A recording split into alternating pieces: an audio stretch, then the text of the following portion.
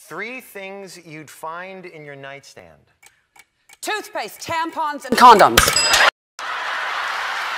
All right. We're learning so much about you in this game. Before you perform for us, uh, they showed me some pictures today that you're photographed all the time in airports holding a pillow. Do you travel with a giant pillow? That's a, those. It's always clean. I always, um, I always.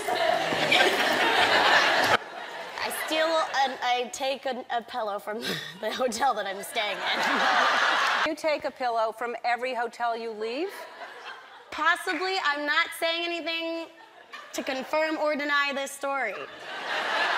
Would you performed uh, New Year's Eve in New York and it was freezing? There was a negative 100 degree wind chill. That's crazy. That's not right. That's awful. You're, you're, you're not right in that. There's no way a negative 100. Okay, maybe it was just word of mouth. You would have died. But I, I, I had uh, hand warmers, and uh, so I put them everywhere, and I uh, put them uh, right here. And it helps a lot. First of all, it, it was great. The paparazzi shot in Bora Bora. Okay. So you are obviously in a private bungalow. Yeah. There's a young woman in the background you can see in the bed. Yeah, I know. Is that your girlfriend? No, it's not. Just a girl that you were in Bora Bora with? Yeah. You just brought a friend to Bora Bora? Yeah. And you're just naked with your friend? Why are you putting me on the spot like this? Gosh.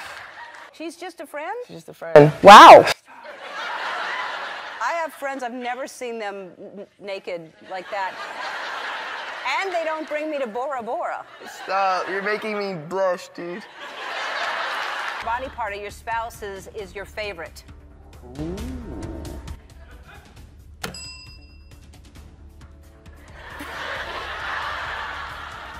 His wrists. Really? No. Don't date. Okay.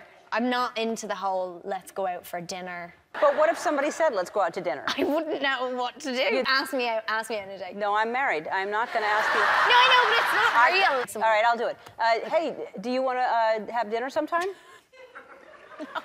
You're married, Ellen. Oh, you set that up. Demi, name three ways you can make Camp Rock R-rated. Sex scene. No, no, Wait, no, no.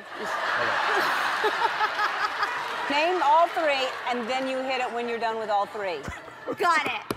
Demi, name three nicknames for a woman's private parts. Oh my god. Um, Coochie. No, I'm sorry. I'm sorry. Okay, name them. I'm so sorry. All right. And how many, you do know how many tattoos you have, right? You have like 13, is that right? Yes. The newest one goes across my chest right here. But um, What does it say? Not showing too much. Okay. Don't get too close up on the camera, guy. I see you over there. Zoom in. Camera guy. Where will you be in five years? I would love to give birth on your show. Good, yeah, do that. Um, that's, that's the quote that's going to go everywhere. Right.